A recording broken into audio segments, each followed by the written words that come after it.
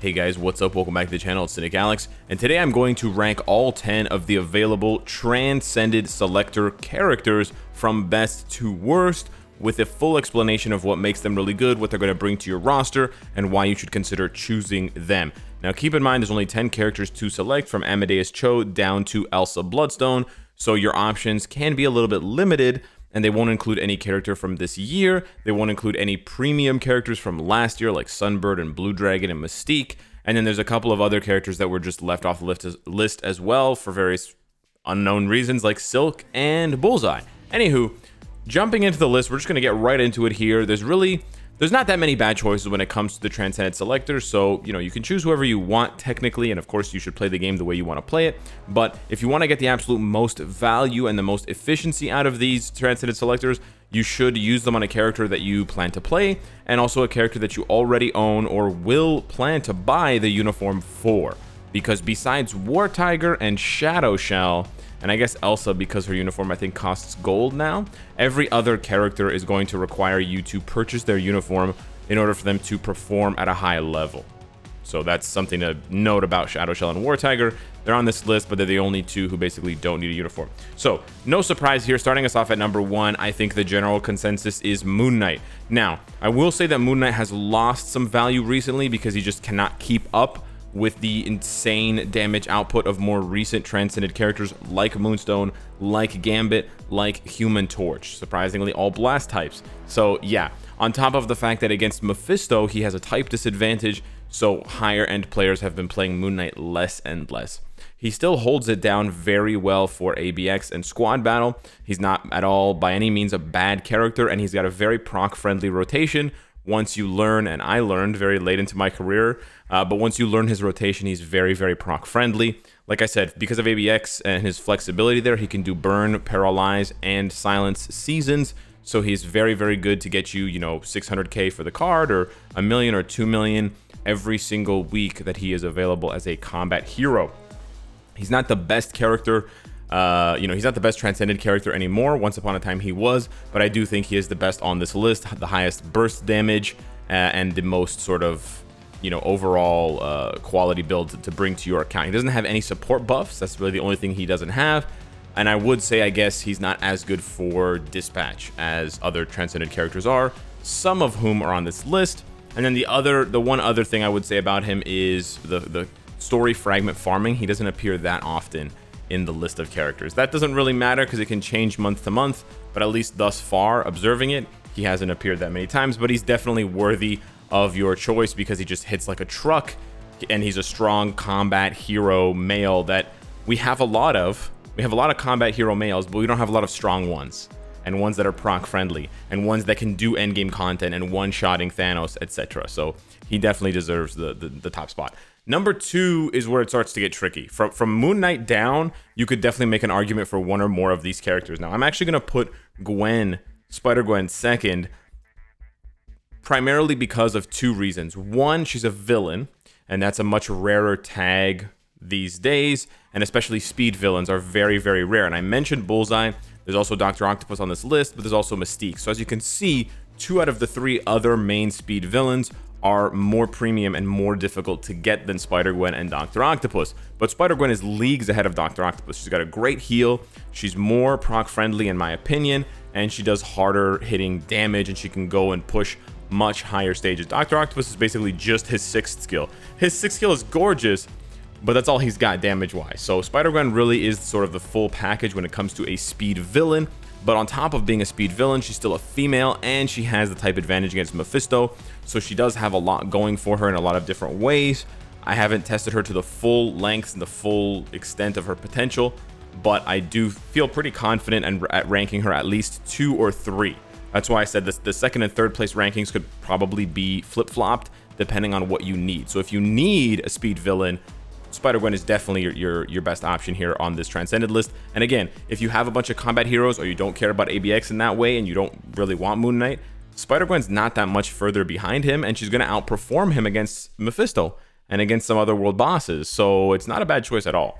But coming in at number three, and again, could definitely be your number two if you don't need a speed villain, is Medusa. Amazing character. And here's where we start to see team buffs. So she's going to give all Universal allies 45% attack. She's going to give herself and all other Inhumans allies 45% increased damage to super villains. So now, if you're trying to build an Inhumans team, if you really like Black Bolt, or you're looking forward to Kamala Khan getting a uniform for her Marvel Disney Plus show or whatever, maybe you want to invest in Medusa now. And again, not a bad choice at all. You could skip Moon Knight, you could skip Spider-Gwen, you could get Medusa. She can do Null, she can do Mephisto on lower stages. She has healing, she has accumulation, she's not hard to play. Harder to play with a proc, I would say, than either Moon Knight or, or Spider-Gwen, so you might want to think about you know giving her a rage or making her a support character altogether and giving her an insight or something like that. But just keep in mind she's not as easy to play with a regular proc because she doesn't have really cancelable skills in that sense of the word. So this is the first sort of proc unfriendly character on the list, but she's very strong because she can support a whole bunch of characters. Like she can support all universals uh, in any game mode as a leader, and 45% is one of the best leaderships for universals. And then she can also support herself and other inhumans, and she's honestly not bad herself as a damage dealer, uh, and she has some flexibility for ABX having both burn and paralysis. So Medusa is another really great pick. Honestly, the quality of characters in the first three between Moon Knight, Spider-Gwen, and Medusa is very high, and they're all very near to the meta or sort of the top end of the meta. So can't really go wrong with any of these three choices. I would say even if you're choosing them for the next month or the month after that, like down the road, you're setting them up, I think it's still a good investment now because it's a free Transcended selector. Coming in at number four, here's where we start to lose some value. So I do think there's a pretty distinct cutoff between third place and fourth place. I would not put fourth place in third place, no offense, to Amadeus Cho. Now, Amadeus Cho is a great character. He can hit really hard. He has the increased crit damage uh, ability, so he, his crit can go over 200%, which means you can see some really, really big numbers. And he's got one of the coolest awakening skills because Wave comes in and drops all this water, these these like tornado pillars of water, and then Luna comes and freezes it all, and then Cho comes and smashes it to bits. Really cool skill. Really, you know, pretty hard hitting damage dealer, uh, and he does have some sustainability and some defenses with the heal and with the immunity uh, that has accumulation. However, the issue with Cho is he's got really long, sort of awkward cooldowns. He's got 20 seconds here, and then he's got 26 seconds on three. So he is a little bit unorthodox. He can work with a proc, but you're going to have alternate rotations. You're not going to be able to do three, five, four every single rotation. You're going to have to alternate and do different ones. So he's going to have a higher learning curve than other characters, and he's not going to hit as hard. He doesn't hit quite as hard as Moon Knight, so he just he's just second place to Moon Knight in Combat Hero, and then he doesn't have the three abilities. He doesn't have the the stun burn or the paralysis burn. He has paralysis there, but he doesn't have burn or um, silence, I believe to give you more flexibility for things like ABX. So he's basically just a weaker version or a, a, lesser version of Moon Knight. And there's really nothing that he does better than Moon Knight to sort of make up for that, which is why he's number four on the list. Still a great character, a decent striker for um, Mephisto because he gives, as a Gamma character, he's going to give you 10% all attack and 5% all resist, which equals 5% fire resist, which is not bad at all and you might need some of the Gamma characters for Dispatch, but yeah, he just falls a little bit short of that, that first tier of Transcended characters, 1 through 3. Coming in at number 5, I'm actually going to choose Shadowshell. Now, there are a couple of characters on this list that, like, further on that may be a little bit better than Shadowshell, but the impressive thing is Shadowshell does all of this while maintaining the fact that she doesn't need a uniform to do it. All of these other characters, you have to invest the 1,000 crystals. With Shadowshell, you don't. Now, I would say if you like PvP and especially Alliance Conquest more than other game modes, then Shadowshell might be your second or third best choice because she's very good for those game modes. She's also frequently used for story fragment farming uh, in the story mode for the All War because she is an elemental type. You're to see her right... She's not there this month. Okay, hilarious. She's usually, she's here like every other month. You can see there's other members of the um, Warriors of the Sky listed there. But yeah, she's often list listed because of the poison damage, and the poison damage makes her one of the most unique characters. Very few characters deal exclusively poison damage. So again, she's by no means a bad character, and she's a support type for the Warriors of the Sky. So really good character to get if you don't already have. And again, you'd be getting the character for free, so you don't have to feel bad about the investment. Coming in at number six, we have Dr. Octopus. Again, Dr. Octopus sort of suffers from the same thing that Amadeus Cho suffers from. He's just a worse version of Spider-Gwen. He's a male speed villain, but there's not much distinction between male and female speed villains. Uh, and he basically just doesn't do as much as Spider-Gwen because he's lacking uh, the heal. The heal is a big one that he's lacking, which really puts into question his survivability and then he only has accumulation, I believe, on his awakening skill. So you will see a spike in his damage during his awakening, but then after it's gone, 12 seconds later, there's a big drop off for the next 18 seconds while you're waiting. He's got a pretty cute combo with 3 and 5 because of the damage proc that you can pass from his uniform, but yeah, he sort of he's been overtaken in the meta, and so he's not really going to hit nearly as hard as these characters. He's not used very much against uh, Mephisto, and he's basically just used until players build up uh, Bullseye and other stronger speed villains for the same content who can just do more damage than Dr. Octopus faster. But he's, he's not bad. Coming in at number seven, we have Red Skull. Now, Red Skull is interesting because he's another physical attacking character that deals energy. Oh, no. Well, he deals like. So he deals physical damage and with one energy attack, but then when you use Cosmic Skull and you get the buffs, then most of his damage changes to energy. So he's kind of like Captain Marvel in that way. It's a little bit confusing. He's also kind of like uh, Vision, where Vision, you know, has one type of attack, but then does another type of damage. Red Skull with his uniform is kind of the same way. Now, the pros of this character are that he has the Cosmic Cube ability, which is needed for some dispatch missions and is very rare. There's only two characters that have it, this Red Skull and Hydra Supreme Captain America. On top of the fact that he's always going to have a place, not at the top, but he's always going to have a place uh, in PvP talks because of his Hero Hunter passive. He deals 100%, 120%, excuse me, more damage to heroes, which means with the type advantage, he could probably one-shot Luke Cage. Now you gotta be careful, you don't want to take reflect damage because it's physical here, but if you get the energy attack off, Luke Cage is basically just kissing kissing himself goodbye. I haven't seen any counterplay of Red Skull versus Luke Cage, but you can imagine the 120% and then you add on the type advantage of 50 to 60%, you're talking almost 200% increased damage.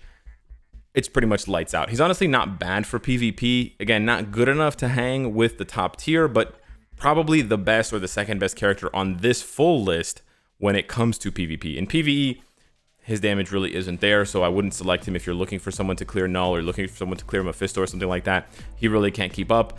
If we get a World Boss Legend in the future that is a hero rather than a villain, then we may be revisiting Red Skull, especially if we get a hero combat type World Boss Legend. So keep that in mind. His flexibility and his power is always there. Remember, Ghost Rider is so good because he has this same passive, except it's reversed and it's dealing damage to villains. So he always has the potential to be a pseudo Ghost Rider if we ever get enough combat uh, hero boss type enemies. Coming in at number eight, we actually have Red Guardian. Now, Red Guardian is kind of interesting because if you swap over to this uniform here, he's actually going to be a super villain. Or not this uniform, the base look for the character is a villain, and then when you purchase this uniform, he's going to transform himself into a hero. On top of the fact that he has a very proc-friendly rotation with 3, 5, and 4, he's a, you know, just a comfortable, fun character to play. And on top of that, he has hidden value because if you do buy the Black Widow Legendary Battle, you do have a quest that tells you to uh, own Tier 2 Red Guardian and then own his potential Awaken. So if you don't even have Red Guardian and then you choose him from this Transcended Selector and you already have the Legendary Battle, the, the Extreme Legendary Battle for Black Widow purchased, you're automatically getting for free on top of the ticket, you're getting 200 Norn Stones for free, and then you're getting another level 6 advanced potential ticket. The one they're giving out right now for the event, for the this, this event's down here, yeah, you can basically get another one. So if you if you choose Red Guardian, let's say you have the first five characters that I listed in my ranking, and then you're like, you know what, I don't really care about Dr. Octopus and Red Skull, but I have the Black Widow Legendary Battle. By selecting Red Guardian, not only are you getting a new transcended transcended character to use with a 35% HP lead, you're also getting another ticket that you can use to save 2,500, 2,400 bios, 10 million gold, and like whatever, 4,000 uh, black antimatter. So there's a lot of value there, and he's honestly not a bad character at all. Is he going to keep up with the characters at the beginning of the list, the, the Chos and the Moon Knights? No, but he's honestly not bad at all, and he's a pretty tanky dude uh, on top of it all. Coming in at number nine, we have War Tiger. Now, me not transcending War Tiger a year plus after he was released sort of tells you what you need to know. He's kind of the forgotten character of the Warriors of the Sky because he doesn't have insane damage and he also doesn't have a support buff for the Warriors of the Sky. He doesn't revive like Sunbird, he doesn't give you defense like uh, Shadowshell, and he doesn't give you the leadership like Blue Dragon. So, yeah. If you're if you're transcending him, you're doing it out of love for the character and the design, which is still really cool, or you're doing it to finish your Warriors of the Sky collection. But to be honest with you, he's not going to perform nearly as well as the other combat heroes on this list. And also, he is not used that much in fragment farming. He's actually used once this month, but he doesn't get featured that often compared to other characters. Last but not least, we have Elsa Bloodstone, the character who was transcended without a new uniform. Her uniform is from 2017, I think? A long time ago, a long, long, long time ago, before my voice changed. Long time ago. I don't really have anything to say about Elsa. You could transcend her for the 30% leadership if you hate yourself and you don't want to get any other character. Or you could transcend her because you're an Elsa Bloodstone simp, which is totally fine. Or you could transcend her because there's literally no one else that you haven't transcended and it's a free transcendent ticket. Those are all good reasons to transcend Elsa. If you just want to transcend Elsa because you like her too, that's fine too. But you know what you're getting when you transcend Elsa. She really has very little value and really the only thing she can do is apply minus 70 all defense down against regular world bosses. You pair her up with White Fox lead or Dr. Voodoo lead, and she can actually do some damage. She only has one ability. Oh, poor Elsa. Anyways, she can do some damage. Minus 70 is a lot. You put that with the debuff lead that goes up to minus 98. So it goes pretty high. So yeah, you have that, but that's about it. Don't, don't, you know, just don't have your expectations set too high if you're transcending Elsa. Anyways, hopefully this list has been helpful to you. Thank you so much for watching. Let me know what you think down below in the comments, and I'll see you in the next one. Take care.